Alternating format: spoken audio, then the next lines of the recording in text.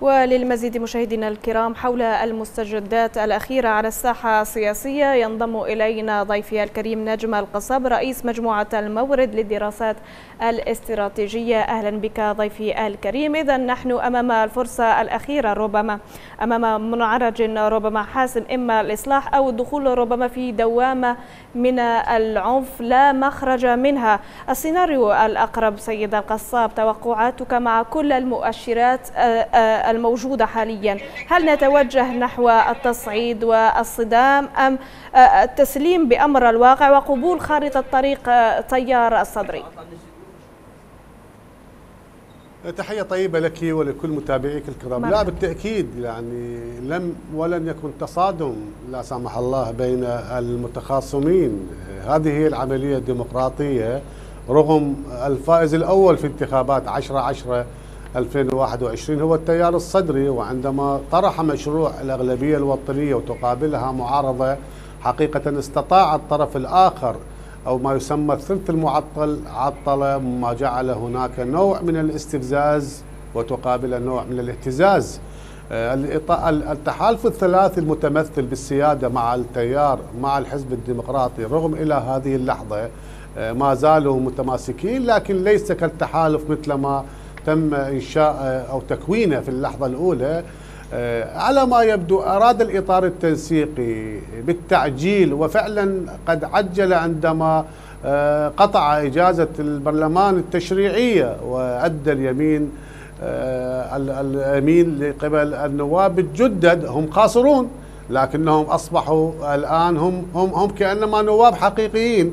اعتقدوا إن من سحب السيد الصدر من المشهد السياسي أو العملية كأنما قد غادرها وبالعكس هو قد استقطب حتى خصومه وحتى الذين تم طردهم من التيار في السنوات الماضية والآن قد عادوا إلى التيار واندمجت معهم الجماهير التشرينية والمواطنين العاديين لأنهم تعاطفوا مع السيد الصدر عندما ترك وتنازل على 74 مقعدا نائبا وهذا غير موجود حتى في الأفلام الهندية. الأمر الآخر بعد ترشيح السيد محمد السوداني هذا قد استفز الأكثر للسيد الصدر الذي يعتبر السيد السيد السوداني من جناح المالكي رغم قدم استقالته وشكل كتلة الفراتين ورغم ليس لدينا ملاحظات على على سلوك الإداري لكن بالنتيجة هو محسوب على السيد المالكي. حتى لو خرج من من من السيد المالكي بالتالي صعب جدا أن يمر. الحل الأمثل الآن أول نقطة ينسحب ويعتذر السيد السوداني من من سباق من سباق رئاسة الوزراء. وثانيا تتفق القوى السياسية على حل البرلمان والذهاب إلى انتخابات اذا القبول بخارطة طريقة تيار الصدري أفهم من حضرتك سيد القصاب. الآن المتظاهرون موجودون آه، آه، في الميدان والاشتراطات اشتراطات التيار الصدري آه، باتت واضحة. رفض لبعض الوجوه وأيضا رفض لتدوير الوجوه. ماذا يعني ربما تغيير جذري للنظام؟ وإصلاح هل يريد التيار الصدري إعادة الانتخابات أم ترميم ما هو موجود أو آه، أتوجه ربما إلى حكومة جديدة حكومة مؤقتة تحكم لمدة ستة أشهر وإعادة آه، قانون الانتخابات من جديد والدخول في مرحلة جديدة. لا هسه هو الآن مشكلة هل أن يبقى قانون دوائر متعددة أم يتم تعديله؟ التيار الصدري ما زال متمسك بالقانون وبعض الأطراف السياسية تحاول العودة إلى الدائرة الواحدة. هذه ليس مشكلة بالنتيجة يصلون إلى توافق على القانون. المشكلة الثانية التيار الصدري والقوى السياسية السنية والكردية وقسم من الإطار متمسكين بالسيد الكاظمي لأنه نجح بإدارة الانتخابات ولم يميل إلى طرف دون الأطراف الأخرى ولم يستغل مؤسسات الدولة أو يشكل حزب أو يدخل في سباق الانتخابات طبعا هذا غير صحيح. رئيس حكومة أسوة بأي مواطن عادي من حقه أن يشكل حزب ومن حقه أن يدخل الانتخابات الأمر الآخر بما أنه نجح خارجيا وتم إبرام عقود مع دول مجاورة وغير مجاورة يمنح فرصة لستة أشهر وتجرى الانتخابات ولربما يتعهد لهم بعدم الترشيح أو تشكيل أو تشكيل حزب.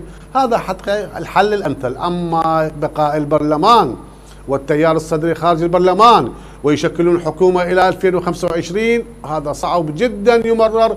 لا سيما السيد الصدر قد حصل على تأييد شعبي ومجتمعي وأنا أعتقد السيد الصدر لربما السياسي الوحيد الذي يتقوى بالداخل على الخارج بينما كثير من السياسيين يتقوون من الخارج على الداخل. بنفس الوقت إحنا اليوم بحاجة إلى تغيير ما جرى من بنية بنية النظام السياسي هذا يأتي تغييره في السنوات القادمة على البرلمان المقبل. كذلك كثير من القوانين لابد أن تشرع. هذا ما أراد به السيد الصدر لكن وقفوا وقف الثلث المعطل أمامه في الأشهر الماضية. طيب سيد القصاب بالعودة للحديث عن بيت الإطار التنسيقي. آه، حاليا ما الذي آه، بيد الإطار التنسيقي القيام به؟ ربما لإثبات وجوده آه، جنبا إلى جنب مع بقية المكون الشيعي وبناء ربما حكومة مثلما طالب بها مقتدى الصدر تكون شاملة معبرة عن جميع أطياف المكون والأطياف العراقية. صعب جدا يتفقون لأن الإطار التنسيقي الآن ليس كما كان في الأمس عندما كان السيد الصدر في العملية السياسية. هم توحدوا من أجل أن أن يكونون ضد للسيد الصدر.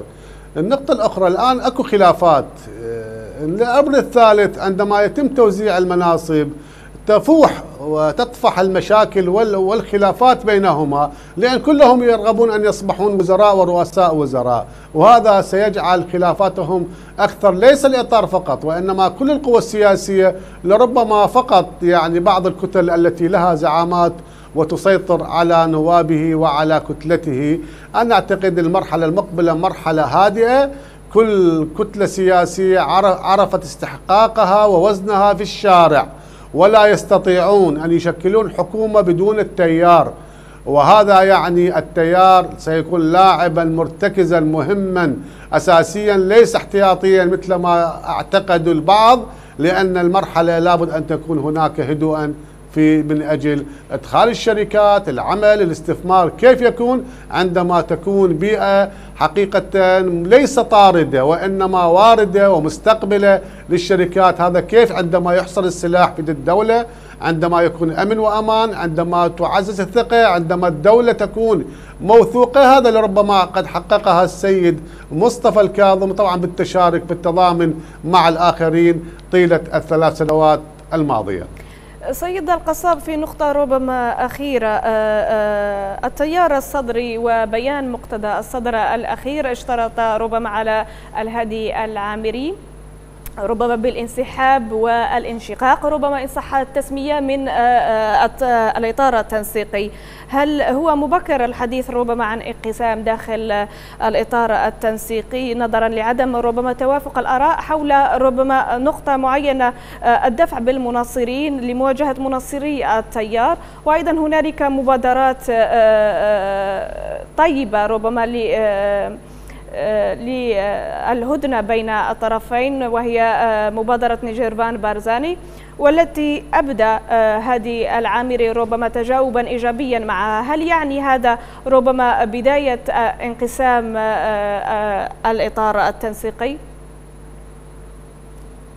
أنا أتوقع هكذا رغم أن مبادرة السيد نجرفان البرزاني قد استقبلت بمقبولية وبإرضاء لأن شخص نجرفان يمتلك حقيقة آه، فرصة عند الآخرين لأنه ليس لديه خصم لا أمام الكرد ولا أمام السنة ولا أمام الشيعة وأنه شخصية محبوبة مرغوبة وهذا ما طالب منه السيد الصدر بترشيحه إلى منصب رئاسة الجمهورية. ولو تم ترشيحه لما وصلنا إلى هذا الانسداد الأمر الآخر أعتقد السيد جرفان آه، عندما طرح المبادرة لابد أن تكون ضمانات. اليوم القوى السياسية مع بعضها لا تثق.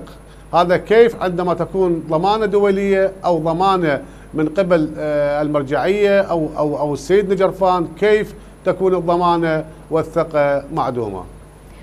نجم القصاب رئيس مجموعة المورد للدراسات الاستراتيجية شكرا جزيلا على توضيحاتك.